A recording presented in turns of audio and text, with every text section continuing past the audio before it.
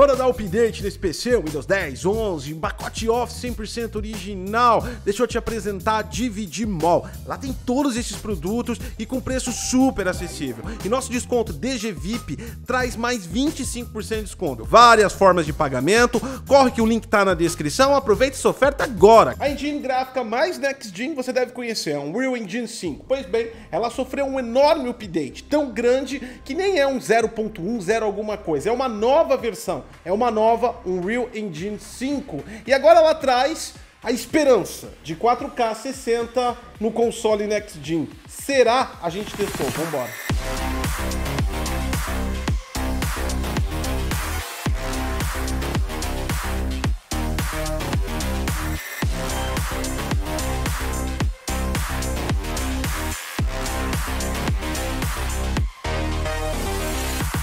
Bem-vindos ao Detonando Quick, esse é o Hard Tech, que a gente dá uma escovada de bits, objeto de estudo hoje, a Unreal Engine 5.1, uma nova engine da Unreal Engine 5.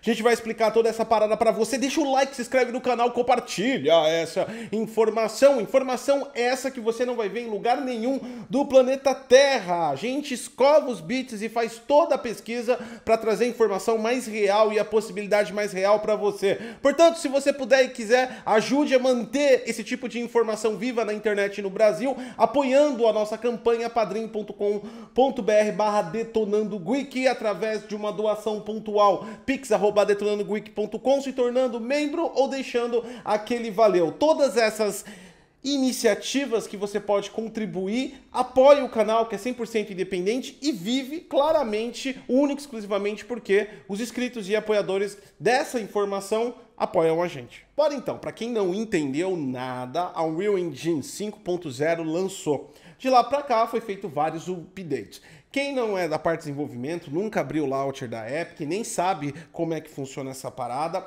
ela sempre vai fazendo updates fix através de 5, 0 alguma coisa, 01, 02, 03. Toda vez que a engine sofre uma grande mudança e alterna o seu pipeline de saída, ela registra como uma nova versão e é uma nova versão que é uma nova engine. Você tem que baixar ela. Então, existe uma migração de projetos para que consiga trabalhar na 5.1. Existem muitas coisas do ponto de vista de desenvolvedor. E se você é desenvolvedor, eu não vou fazer um tutorial aqui. No entanto, tem bastante informação de caminho de pedras que eu segui e que você pode dar uma olhada nos resultados para conseguir aí replicar e fazer os seus testes também. Mas nós vamos focar a informação para o player e principalmente na esperança de 4K 60 nos consoles, porque a gente está vindo tudo 1440, 1800, então vamos ver o que acontece acontece né? Uma das promessas é o TSR, que é o Temporal Super Resolution, que foi aprimorado. Nós testamos. Outra promessa grande foi o aprimoramento de Lumen, que fica mais leve, e o aumento da qualidade de Ray Tracing por software, que nós também testamos. Agora é possível aplicar nem Night, a tecnologia que deixa você colocar milhões de triângulos nas malhas 3D em vegetação movimentável, que antes era só para malhas 100% 100% estáticas paradas, né? Então agora também é possível e nós testamos. E também deixar a aguinha mais transparente. E nós testamos também para trazer. E é claro, vamos ver o que tudo isso deu em relação a FPS. Primeira coisa que nós fizemos é pegar o mapa pronto da própria Epic que você está vendo aí agora, inclusive está com a medição de FPS dele. Esse daí é o mapa que é, ele nem tem lumen, não tem nada, tá bom? Então nós pegamos esse mapinha aí, que é bem bonito, por sinal, com bastante peso. Ele é um mapa feito para indústria cinematográfica, nem é indústria de jogos. Ele é um exemplo de como você fazer trechos para filmes 3D e outras coisas na engine gráfica. Um exemplo perfeito de peso para gente, com malhas 3D de altíssimo peso, nós temos muitos objetos na tela, visual effects também, então tem bastante coisa aí nesse mapinha que você está vendo. Pois bem, nós passamos na Unreal Engine 5.1, ativamos Lumen, Ray Tracing por hardware, colocamos Day Night nesse material rochoso e, é claro, ativamos uma parada chamada Virtual Shadows Map, que utiliza SM 6.0, que na verdade é Pixel Shader 6.0, em DirectX 12. É a versão da linguagem de shader que permite algoritmos mais potentes, tá bom? E o que esse Virtual Map faz, esse Virtual Shadow Map faz, ele faz toda uma escala automática, sem o desenvolvedor meter muito a mão, no sombreamento e deixa mais realista. Pois bem, colocando tudo isso nesse exemplo, o nosso resultado foi esse que você está vendo aí agora. Um detalhe importante para falar sobre isso é que o exemplo original tinha mais ou menos uns 20 pontos de luz estáticos na entrada da caverna para que parecesse que a luz do sol estava entrando. O nosso exemplo só contém única e exclusivamente lumen, com alguns pontos de reflexo para aumentar um pouquinho aí a sua visualização. Nós temos apenas uma entrada de luz que é lumen. Ray Tracing, como eu disse, através é, de software e nós ativamos aí o novo virtual é, Shadow Map. Aliás, era antigo da 5, mas agora ele só funciona com SM 6.0 do DirectX 12 Ultimate, claro. Então você está vendo o resultado, né? Dá uma comparada nos dois, lado a lado, e aí você verifica também a questão do FPS. Nós estamos com, no mínimo, o dobro de processamento para efeitos visuais mais complexos e nós mantemos aí uma paridade muito próxima. Outro exemplo ainda fica um pouquinho à frente de FPS. Nós rompemos a barreira dos 60 em determinado ponto e mesmo com muita tecnologia, muito peso, nós conseguimos manter o FPS estável. É importante falar que nesse exemplo eu não fiz nada mais, nada menos do que ativar as tecnologias, retirar os sistemas de iluminação só para ficar com lumen e ponto. Eu só fiz isso, eu não fiz nenhum processo de otimização, eu não parei para fazer nada. Aliás, isso foi feito no dia de hoje que está gravando esse vídeo, de tão rápido que foi para mostrar aí o poder de desenvolvimento com as novas features da versão 5.1. O resultado ficou muito legal, ficou muito bacana. A gente poderia ter explorado mais a luz, deixado mais artístico, tentado deixar mais realista, mas como eu disse, eu fiz tudo hoje. Então, a gente conseguiu estabelecer aí uma evolução boa também. Falando da experiência em relação até a parte do desenvolvimento, a gente faz vários exemplos na Unreal Engine 5 e tudo isso é muito pesado. E a gente sempre usa DLSS ou Fidelity Effect Super Resolution até mesmo no modo editor. Se você não sabe, é possível fazer isso na hora que você trabalha, adicionar essas tecnologias. A contagem de saída de qualquer projeto que eu faço na Unreal Engine 5, eu não espero nada mais, nada menos em efeitos ultra, como tá, por exemplo, em presets muito altos, 40 FPS com sorte. É o que eu espero. Se rodar 30, eu já estou satisfeito. A minha GPU é uma RTX 280 Super. E eu sempre faço um grande trabalho de otimização para conseguir ter efeitos legais aí e uma performance razoável nos meus modelos. Eu não fiz nada e eu tive um resultado bem bacana volta de novo a modificação que a gente fez e agora retrata também a questão do temporal super resolution.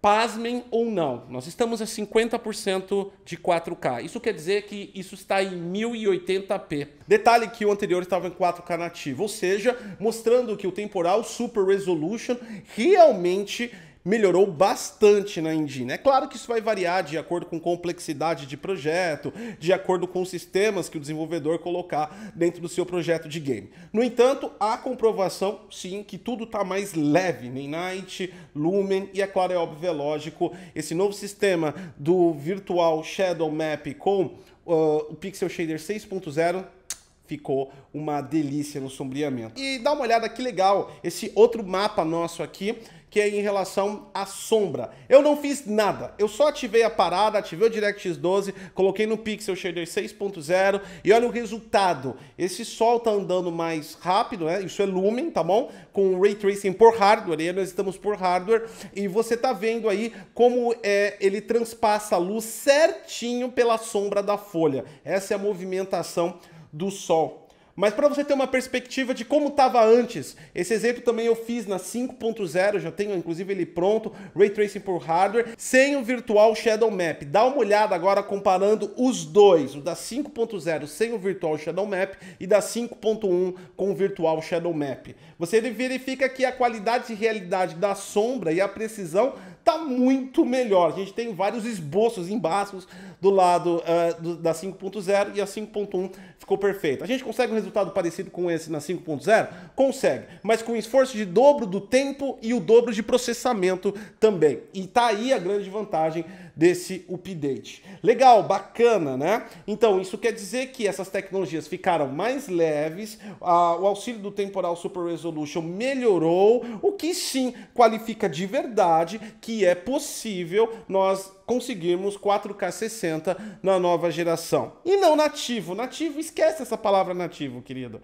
Se você está pensando em 4K nativo, pensa no PC, RTX 480, 4090, tá bom? É nessa pegada que você tem que ir. Mas aí você está perguntando, que legal, que bacana, um monte de jogos estão sendo desenvolvidos para Unreal Engine 5.0. Claramente os desenvolvedores vão ficar empolgados em melhorar a sua performance e oferecer mais valor em efeitos gráficos, algoritmos e FPS para o seu consumidor. E claramente já estão migrando. Lê do engano. Porque o que eu te mostrei foi só sucesso. E agora eu vou te mostrar os fracassos. Dificilmente um jogo em desenvolvimento que tenha pelo menos já próximo a 50% pronto do projeto deva migrar para 5.1 nesse momento. Ele deve lançar no core da 5.0. E por que que eu estou falando isso? Bom, nós colocamos aí, como você está vendo, a implementação de Nem Night na folhagem. Funciona muito bem. Se você faz isso na 5.0, é, ele até ativa porque são malhas estáticas que têm animações via Blueprint. No entanto, fica injogável, fica com 2 FPS. Aí o bagulho está funcionando bombando bombando até demais. Quando a gente pode dar uma olhada, a árvore parece que virou um pilão e está socando na terra. Ela vai e volta, né? A nossa árvore flutua no espaço. A movimentação de Name Night, com a sua capacidade de criar triângulos virtualmente, fez com que a nossa movimentação movimentasse tudo, até mesmo o tronco. Ele colocou tudo no mesmo uh, balde e ele falou: é isso aí que vai rolar. Por quê? Porque eu fiz a implementação, como eu disse para vocês, cliquei, ativei e já era, eu não modifiquei. Para que eu corrija isso, eu preciso medir e mudar a minha geometria de malhas e até mesmo a questão dos meus efeitos. Isso quer dizer tempo e dinheiro. Meu projeto ia aumentar o cronograma e eu ia ter que lançar uma notinha de adiamento. Outra questão importante é o ruído que o Virtual Shadow Map faz com Ray Tracing por hardware. Dá uma olhada aí. Eh, eles estão juntos, Ray Tracing por hardware, Lumen, Nanity e o Virtual Shadow Map rodando aí no Pixel Shader 6.0. Parece que tem um enxame de abelhas nas folhagens elas não param. A sombra não para de se movimentar, em alguns momentos fica caótico, porque ele fica tão preciso e pegou tão bem a sombra que a sombra da folha passa por cima da sombra da outra folha, que cria outra sombra da sombra da sombra da sombra e a gente cria um loop infinito de sombras, fazendo um xadrez do inferno visualmente e ruído histérico na tela. É claro, eu precisaria alterar configurações muito mais tensas para conseguir resultados de eliminar esse tipo de ruído e também esse tipo de artefato desagradável graficamente. Eu precisaria criar um perfil de GPU, eu, eu precisaria mudar até algumas coisas de geometria do meu ambiente, eu precisaria regular parâmetros desse sombreador para maior precisão, eu precisaria até mesmo provavelmente colocar mais pontas refletivas de luz em determinados locais para aumentar o ruído, eu precisaria aumentar a resolução das minhas minhas texturas,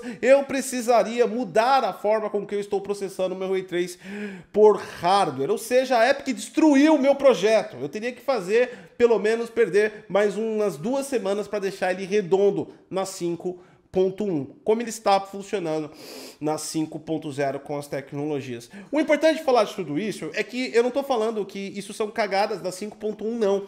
Isso são modificações em um projeto mais complexo, ou seja, me parece que, apesar de ter bastante coisa boa, ficou bem mais difícil. Você tem que fazer uma migração do seu projeto, o que acaba perdendo a facilidade. Ninguém vai estar disposto, por exemplo, que nem uma Ninja Theory da vida, que está fazendo um Hellblade, seria um pouco suicida colocar na 5.1 nesse momento. Eu não estou falando que o estúdio não vai colocar, tá bom? Mas realmente seria um. Seria, tem, tem, tem que ter coragem.